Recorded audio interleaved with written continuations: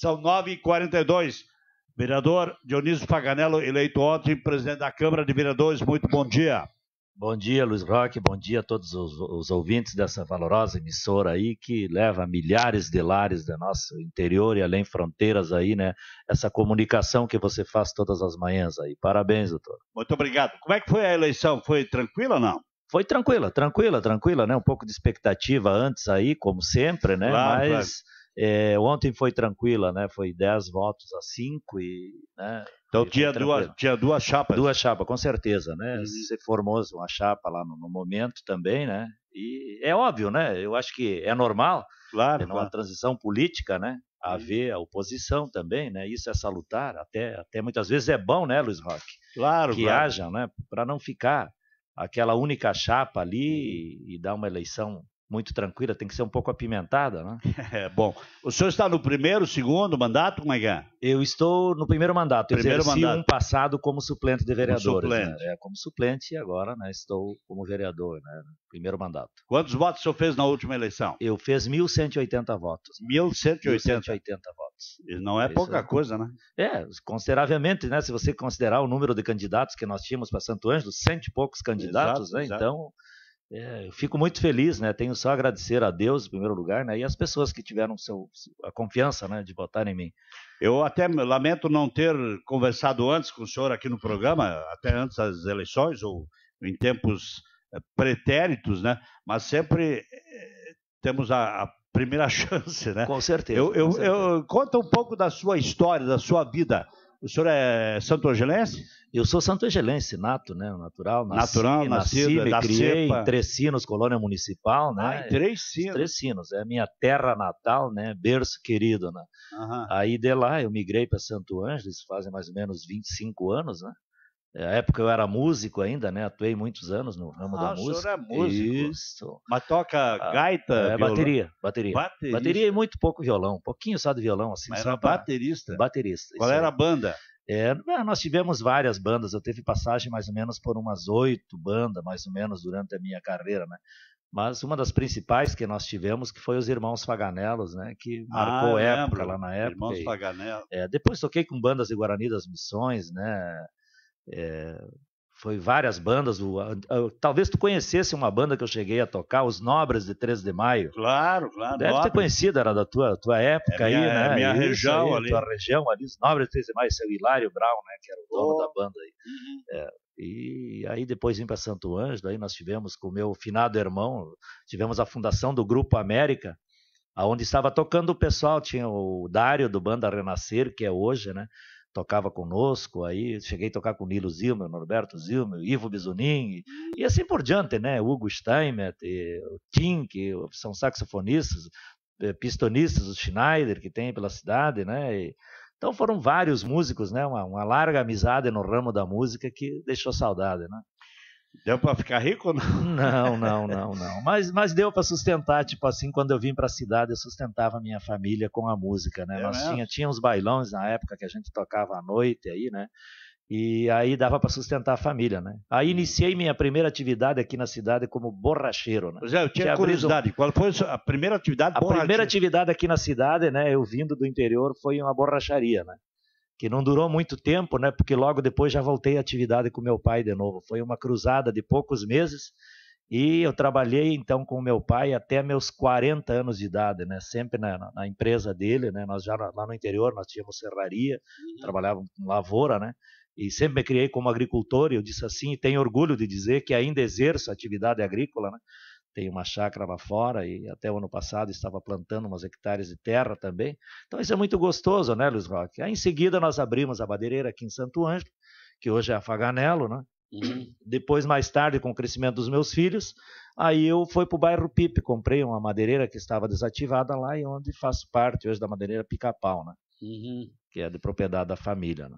Eh, quantos filhos? Eu tenho quatro filhos. Quatro filhos. Quatro filhos. Já crescidinhos? É, tem, tem 32 anos, o mais velho, e a minha neném está com 13, 13 anos. né? 13. 13 anos. Já tenho netinha também, né? Já tem Tem netinho. uma netinha e tem mais uma caminha aí. Na política, o senhor se identifica com quem, digamos, nesse contexto atual de hoje, a nível de Brasil, nível de Estado? O senhor é do Partido Democrata. né? Democratas, democratas. Com- É, Luiz Roque, assim, eu, a minha identificação sempre foi com pessoas líderes comunitários. Ah. Eu uh, exerço uma liderança comunitária há muitos anos, né? Eu me tornei ministro da Palavra Eucaristia da Igreja Católica fazem 23 para 24 anos, né? Então eu sempre convivi muito, né? Tipo assim, eh, me identifico muito com famílias, setor família, as pessoas um pouco até que mais calmas, né? Que que não são muito gritalhonas, é, porque no meu coração não existe lugar para rancor, entendeu? Então, uhum. eu acho que as coisas que a, a, a, discussão existe, ela é salutar, mas nós temos que saber que terminada a discussão não existe vencido nem vencedores. Né? Tem uma senhora aqui, eu acho que está com saudade dos teus tempos de, de, de músico, viu? Opa! Ela está dizendo, bah, os salões lotavam onde os paganelos tocavam. Com certeza. Eu disse assim, tem saudade, música lenta, a bons gente tocava, tempos, bons já. tempos, era um, era um local aprazível, né? Então a gente tocava bastante bandinha, aquela música ligeirinha para dançar, de repente o pessoal pedia uma lenta, né? Hum. Daí para conversar um pouco no ouvido da prenda, né? E, e começar um namoro gostoso. É verdade. Bom, como presidente da Câmara de Vereadores, que tipo de projeto o senhor tem pela frente, hein? É, o senhor assume, o senhor foi eleito ontem, mas assume em dia janeiro, primeiro, né? Dia 1 Dia 1 de janeiro. Primeiro, isso aí, dia 1 de janeiro eu assumo, né? Uhum. E o trabalho, Luiz Roque, eu vejo assim, ó, que a nossa Câmara de Vereadores, é, tanto quanto o Executivo também, tem avançado muito, viu? É, nessa última legislatura aí. São, são várias coisas, vários reajustes que foram dados, né? A Câmara de Vereadores, por exemplo, né? As diárias que foram reajustadas, que antes eram livres, né? E hoje elas estão limitadas, né? E aí, o momento que a gente assumir, a gente vai tomando ciência né, do que é preciso ainda ser mudado eu vejo que tem coisas que a gente tem que mudar, tem que se reajustar né, aos tempos atuais. Né? É como eu sempre falo, o tempo de vacas gordas é bom. É, tipo assim, nada desfalece, né? Tudo que for tirado ou coisa assim, logo vem é reposto. Mas nós estamos um tempo vivendo uma crise muito grande aí, né? Não só aqui em Santo Ângelo, como todos os municípios, né? E então eu acho assim que nós temos que ir nos ajustando, né?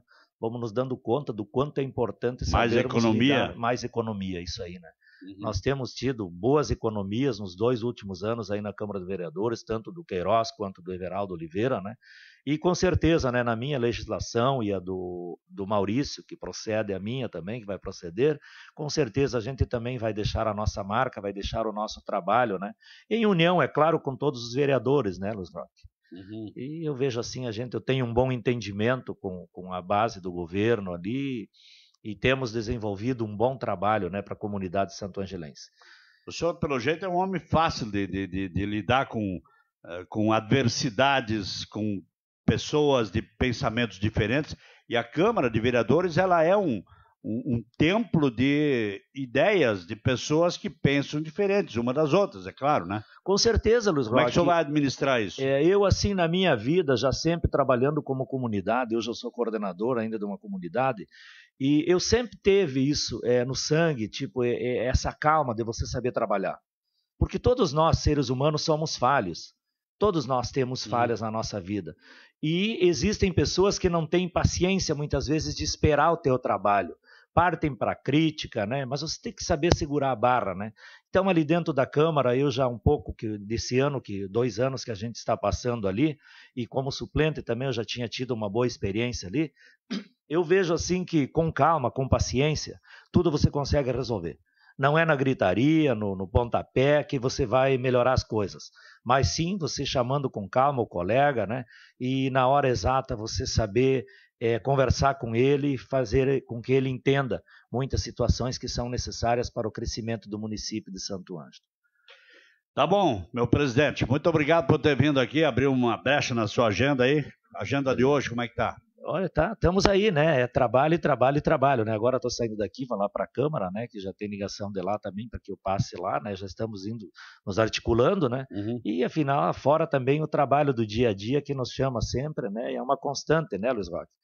E eu gostaria, Luiz Roque, não pois sei não. se posso aproveita, deixar aproveita. Um, uma mensagem de claro, final de ano aí, né, claro. né? A todos os seres humanos, né? Que é a todos os santo-angelenses e pessoas que estão escutando essa emissora que nós não façamos desse Natal mais um Natal apenas com a beleza do Papai Noel, mas que sim realmente nós deixamos que Cristo renasça em nossos corações, para que nós possamos cada vez mais aflorar o amor em nossas casas, em nossas famílias e também na sociedade num contexto em geral. Então, um feliz Natal a todos e que Deus abençoe você, a toda essa emissora e a todos os ouvintes. Tá bom, meu presidente. Dionísio Paganel, novo presidente da Câmara de Vereadores de Santo Ângelo. 9h53, 22 graus a temperatura, rápido intervalo, já voltamos.